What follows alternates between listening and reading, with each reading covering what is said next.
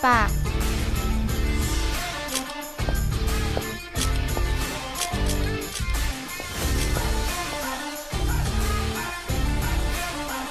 我要拆开他们，别拉着我。你冷静一点。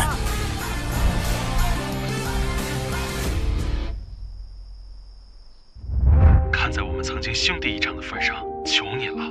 他们想要害我女儿，我只求你保护好她。上官初夏，我只能用这种假订婚的方式守护你，也算是完成了对你父亲的承诺。我就是要让所有人都知道，你是我的女人。准备一下，要拍封面了。怎么拍啊？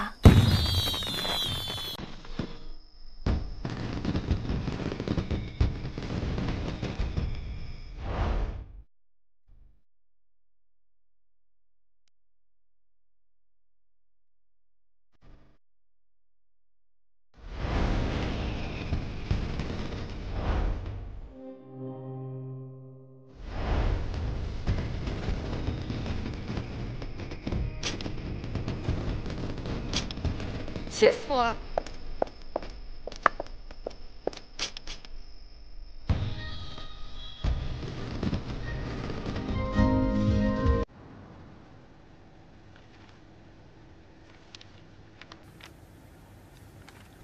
怎么办啊？完全没有头绪。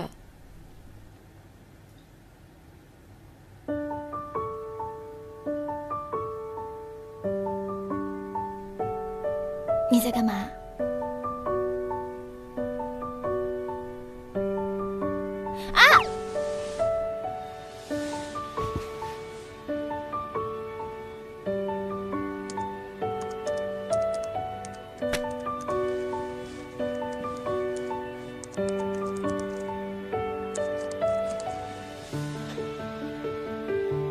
我终于知道，你爸留给你的是什么东西了。太棒了吧！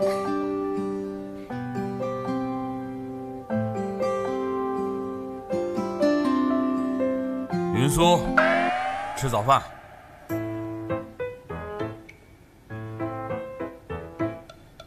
走啊！我就不去了吧，太尴尬了。丫头，你也来吧。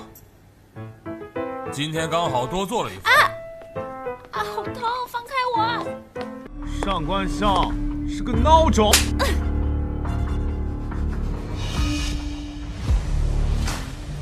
你不过就是上官家的一条狗，也敢动我的人？呃，云素，你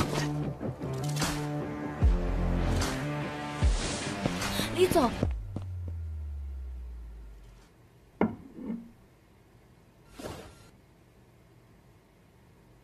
李先生，你放心，有我在，他们不敢动你。你可是上官家的人，为什么要我帮云家？为了我爸，李叔叔，您该不会真的不知道我爸的死跟谁有关吧？你们李家跟上官家可是世交。爸，池媳刚来电话说，云氏集团的人已经找到李春来，正在谈合作的事，我们该怎么办？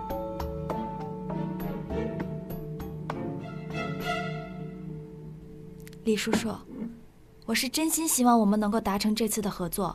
初夏，就先别说上官家对我的威胁了。你知道什么是合作？你能带给我什么东西？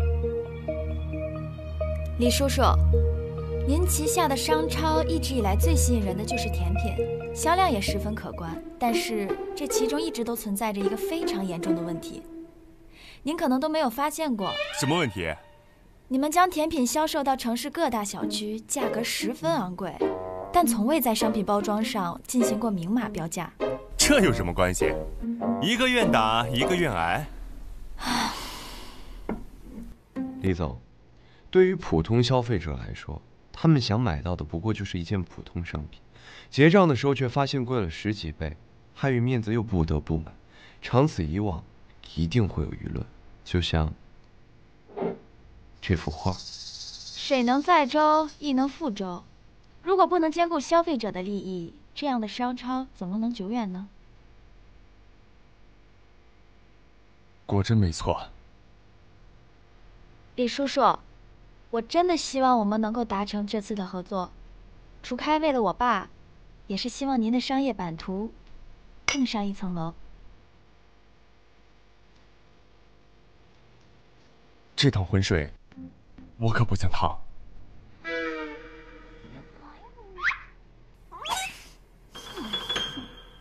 我明白，但我还是希望您能够再考虑一下我的建议。我期待着您的最终回复。李总，我们先走了。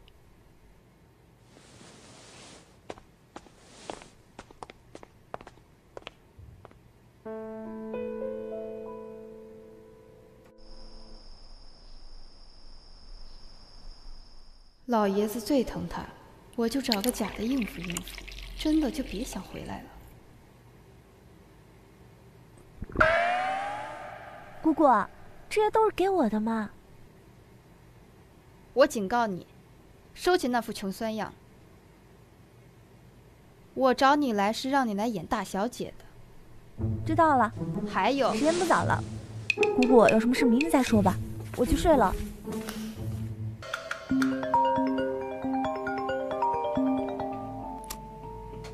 搞定了吗？搞定了。那就等着看好戏吧。等上官初夏利用云家击垮了上官集团，先稳住家里情况，听懂了吗？我可是上官春燕，不要用这种态度跟我说话。要是我把十年前你对大哥做的事情给抖出来了，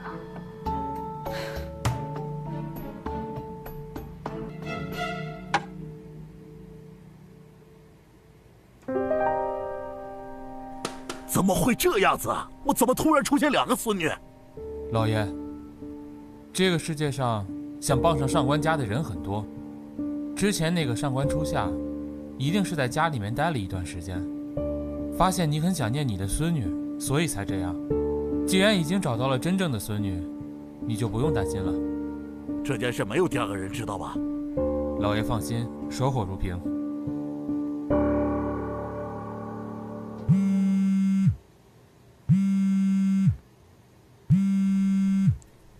喂，东东，上官家那个大小姐上官初夏回来了，跟我有什么关系？其实我早就知道，你才是真正的上官初夏了。我们明天见一面吧，我会帮你的。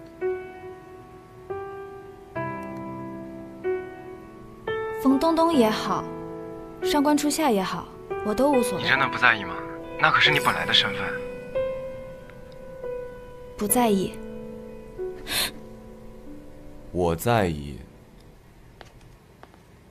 王沐风，这么晚了给我未婚妻打电话，不太合适吧？云苏哥，你不应该叫我哥，喊辈分，你应该喊我叔。以后不要再给他打电话了，拉黑。你干嘛对沐风这么大敌意啊？沐风，王家那俩父子不简单。他告诉你什么了？他就说明天想见我一下。他还想见你？行，我还想见他呢。告诉他，明天带上他爸，我们四个人一起见。